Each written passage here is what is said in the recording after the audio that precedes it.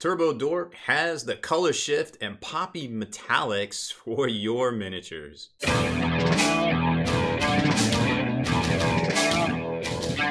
Spikey Bits. Welcome back, Hobby Maniacs. I'm Rob Baer from SpikeyBits.com. Today, I'm going to showcase for you some really cool color shift and metallic paints by Turbo Dork. They sent these paints over back in November. I know you're like, dude, it's summer. I know. But here's the thing, guys. I really like to use something and get to know the product before I try talking about it. Now, I already knew it was cool and I, I know people are using it, but I couldn't speak conversationally. And learning a new line of paints actually takes quite a bit of time, uh, probably more probably more than I gave it credit for. So I wanted to spend the time with it and really get kind of get to know all of the paints that they sent over and they sent over the expansion paints too but that's that's going to be a separate video although we used a couple of them already that I'm about to show you here in a few minutes so long story short Turbo Dork, Color Shift, and Metallic Paints, 20 ounce bottles, a very good value for $6. They got some bundles and they uh, have sales from time to time where you can save a little bit of money. 20 ounces for $6.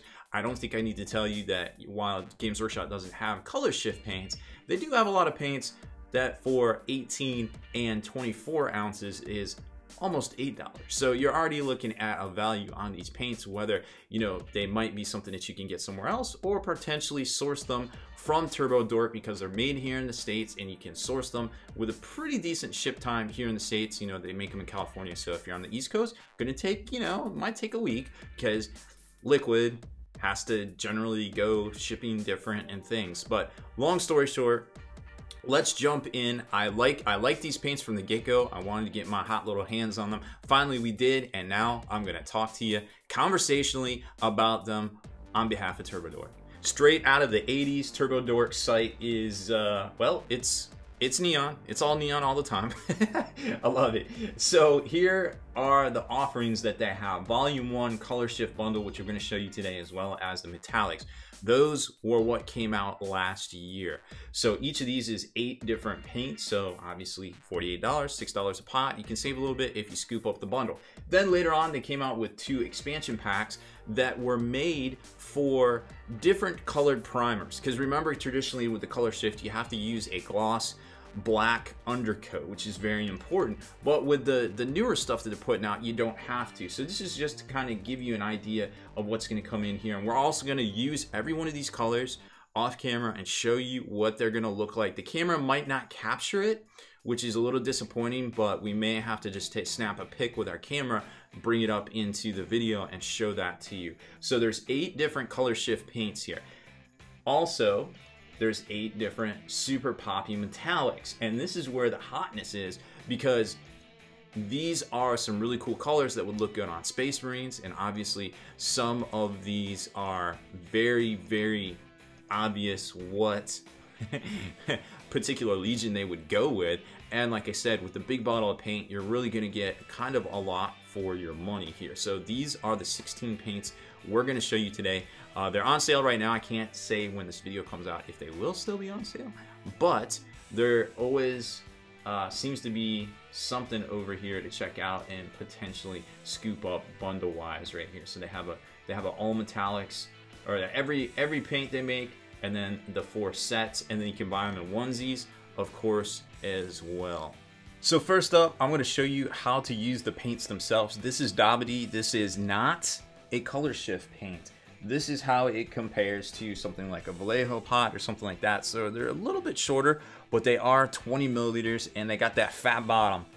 So a little bit fatter, but lots and lots of paint in here. Now, currently Turbo Dork has a larger agitator in here. You're gonna hear this, it's very small, it's like a BB. Sometimes it gets caught in the top right here. So don't, don't mash down on this thing. If you think it's clogged, just get you a little paper clip and booyah, clear the hole right there. To get started in the airbrush, now you can brush these paints too. You don't have to worry about that. It isn't just airbrush only. We're gonna throw a little bit of flow improver in here like the so. Now I wanna be very upfront with you. A lot of these paints are not labeled as non-toxic. You need to wear a mask. You need to have some sort of ventilation or something like that because um, I have definitely had a headache using this stuff without ventilation. So I think it's bad. It's also made me sneeze. So uh, be be prepared. That is that is a thing. Do not do not mess up. Do not disrespect these paints. They will uh, own you if you do. So really quick, just uh, just messing around there with a little backflush. The key to these paints is keeping the mix thoroughly mixed up in the pot. This is going to separate, but they say always shake thoroughly. So this is going to separate in a pot, and you want to make sure that when it starts to look like this, that you mix it up in the pot, because otherwise it's going to just not look right. So we add a little bit of flow improver. I'm giving it a little blast here, and we're to go. We're just going to use a spoon and just kind of blast it on here just to give you an idea of how easy this stuff is to use. And literally in seconds. Now these you can use over a normal primer, but we're just going to go with the standard black right here because that's what we were just doing. Um, the camera kind of takes away a little bit. I feel like it looks dull, it looks matte. I'm gonna put some light on it there, but it's not quite what it's. It's not quite its true um, shine and kind of poppiness here, which is unfortunately something I guess just the way the human eye and cameras kind of uh, capture this stuff. So very quickly, we just put a base coat down. This stuff is very easy to use. Almost one one actual pass. It's kind of two thin coats, but not that hard to use. You see it's already started to separate in the pot. So at this point, I'll grab out my buster brush and mix it up in the pot. So it's actually just as easy to brush on the paint. Now here is that same Dabity with some cutbacks of green, which is one of their bright sides. I call it Kurosawa because I can't say that word. We're all good at something. Pronouncing this word, I am not good at. so a little airbrush work and a little detail work with a brush and we're good to go. But what I wanted to show you was that if you just put out a little drop of this paint right there, you can see the Dabity Remember, don't lick your brush. Not, not, not toxic. That means it's toxic. Well, not not toxic. And you can actually touch up some areas. Now, here's the thing. This is over a black base coat, so it's going to be a little brighter, but you can also use this as a really cool edge highlight as well. So it's going to look and appear to be two different colors right there. A much, much brighter, a much, much brighter of the blue on his little uh, butt plate, but keep in mind that you can just brush this right on. You mix this with a little black, you're going to be perfectly good to go, and the color is going to look uh, stunning as well. But you can use it as a highlight over all of this. I just elected to use a little bit of silver, uh, and that worked out pretty good. Now, also on the, I think this was the B-sides line right here. This was a, nope, it was the bright lights as well. So we used pucker and multipass. Can you guess why it's called multipass? to do the sword right there. So kind of a, a, preview of their expansion sets, but stunning nonetheless right there. So let's get back. I'm gonna go through and airbrush up a spoon with every one of those 16 colors and show you what they will look like. And here they are. I took about two passes with the airbrush over top of all this. These are the metallics, these are not the color shifts and they are very very striking. Now this is what we use. This is the Dabity this is what we used on this guy right here. And then we cut in that Kurosawa color which I seem to have misplaced already but that's okay. We know what it is. I showed it to you already. So all these are just a very very poppy super strong metallic that are gonna look good. They're nice and flat. This is uh, a matte kind of flat look over a gloss black with roughly two coats give or take I mean, airbrushing it's kind of hard. You kind of let it dry and then hit it, and it's like, is that a coat? Is that a half a coat? I don't know, but hit it, let it dry, kind of soak it in, and then hit it again. It might actually count as one coat, but you know, it's a little bit of work. No big deal. So these, this is the eight. This is the first metallic series right here. They're, they're all kind of, they look like this. And they are, they are very good looking and just glancing at them, you can tell what legions they would definitely be good to represent, or perhaps some of the stuff on the fantasy side, or you know, even some titans, some knights, all sorts of different things and armor potential right there. Now it gets a little trickier because, like I said, photographing and filming the color change effect is, I noticed on the stream, it's very hard to do, believe it or not. So these four, well, actually, all of these eight here are color change. But you can't really tell just looking down at it, right? So I tried taking pictures. I tried to do a bunch of different things to show y'all the color change uh, principles. And even when I'm looking at it here, like I see the color change here of silver going up from here. If you look very closely, the silver is changing down underneath here on the camera.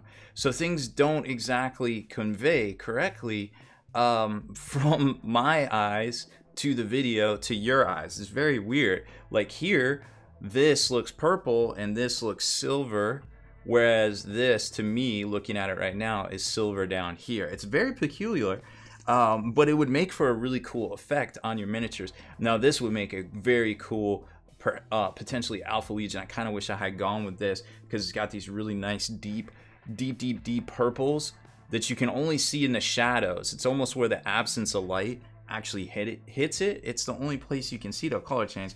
So i'm really i'm really kind of upset like we spent a lot of time here. Here you can see the yellows and the orange but it's not quite as pronounced as it is in real life unfortunately. The golds are very poppy and the oranges are they're kind of under but they're definitely there. Orange browns kind of type deal.